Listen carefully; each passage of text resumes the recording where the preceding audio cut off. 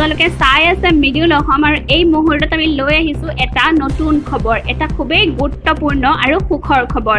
ৰাজ্যৰ মহিলাসকললৈ আহি পৰিছে এটা সুখৰ খবৰ আৰু এই সুখৰ খবৰ লৈ আনিছে ডক্টৰ হিমন্ত বিশ্ব শৰ্মাই। হয় ৰাজ্যৰ মহিলালৈ পঁচিছ হাজাৰকৈ টকা হিমন্ত চৰকাৰৰ। সবিশেষ চাওঁ আহক এই ভিডিঅ'টোত। ৰাজ্যৰ মহিলালৈ পঁচিছ হাজাৰকৈ টকা হিমন্ত চৰকাৰৰ।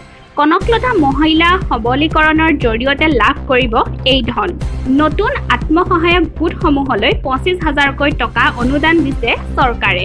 গোট গঠন কৰা ছমাহৰ পিছৰ পৰাই লাভ কৰিব পাৰিব এই ৰাজ সাহাৰ্য ছমাহত পাব বিছ হাজাৰ টকা ওঠৰ মাহত পাব ত্ৰিছ হাজাৰ টকা ত্ৰিছ মাহত পাব ষাঠি হাজাৰ টকা আৰু চৌৱন্ন মাহ সম্পূৰ্ণ হ'লে লাভ কৰিব এক লাখ পঁচিছ হাজাৰ টকা। গতিকে এই ধনৰ বাবে কেনেকৈ আবেদন কৰিব জানো আহক। অনলাইন আৰু অফলাইন যোগে প পত্ৰ সংগ্ৰহ কৰিব পাৰিব। স্থানীয় পঞ্চায়ত কাৰ্যালয়ত তাৰ পাছত জমা দিব লাগিব। সঘনাই বৈঠক জমা আভ্যন্তৰীণ লেনদেন অব্যাহত থকা হ'লে লাভ কৰিব সুবিধা। আৰু বৰ্তমানলৈকে দুই লাখ চৌৱন্ন হাজাৰ আত্মসহায়ক গোটক দিয়া হৈছে এই ধন আৰু এই ঘোষণা পঞ্চায়ত আৰু গ্ৰামোন্নয়ন বিভাগৰ।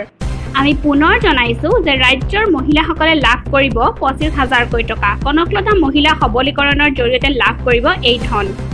নতুন আত্মসহায়ক গোটসমূহলৈ পঁচিছ হাজাৰকৈ টকা অনুদান জনাইছে চৰকাৰে। গোট গঠন কৰা ছমাহৰ পিছৰ পৰাই লাভ কৰিব পাৰিব এই ৰাজ সাহাৰ্য ছমাহত পাব বিছ হাজাৰ টকা ওঠৰ মাহত ত্ৰিছ হাজাৰ টকা ত্ৰিছ মাহত ষাঠি হাজাৰ টকা আৰু চৌৱন্ন মাহ সম্পূৰ্ণ কৰিলে লাভ কৰিব এক লাখ পঁচিছ হাজাৰ টকা।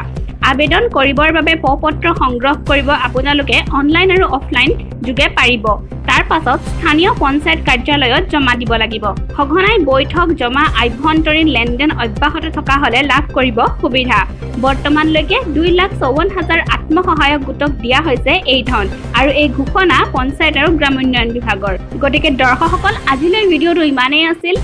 এই সন্দৰ্ভত অন্যান্য তথ্যৰ বাবে আপোনালোকে চাই থাকিব মিডিল অসম আমি পুনৰ আহিম নতুন তথ্যৰ সৈতে। যদিহে আপোনালোক নতুন দৰ্শক তেন্তে চেনেলটো ছাবস্ক্ৰাইব কৰিবলৈ নাপাহৰিব। লগতে ভিডিঅ'টো লাইক আৰু শ্বেয়াৰো কৰি দিব।